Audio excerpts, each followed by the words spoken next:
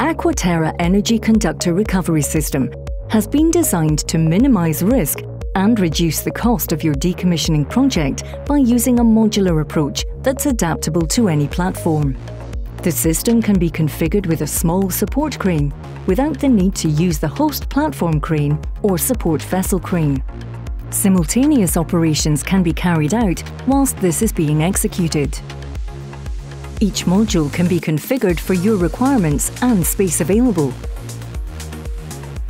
Before the cut is made, the conductor is a significant length and weight, posing a potential safety risk, often requiring complex lifting operations.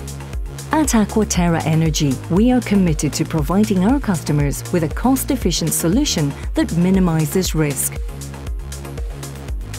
The Aquaterra Energy Conductor Recovery System offers a best-in-class, technically assured solution. Using this tool is the safest and quickest way to cut the conductor once the casing from the well has been removed.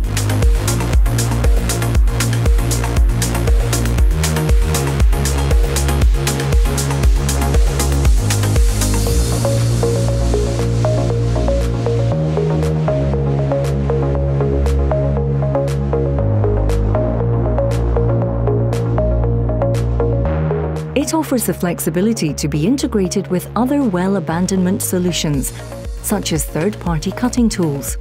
Its modular approach for configuration provides a small footprint, as opposed to the traditional table shape. We safeguard against any risks by drilling and pinning the conductor in place, so if it was to fall during the cutting process, it will be captured without any damage or risk of injury.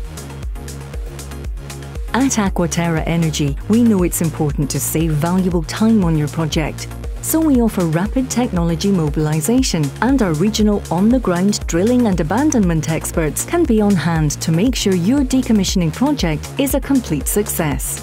The Aquaterra Energy Conductor Recovery System can save you money and time in lost operational days and reduce the risk of health and safety incidents.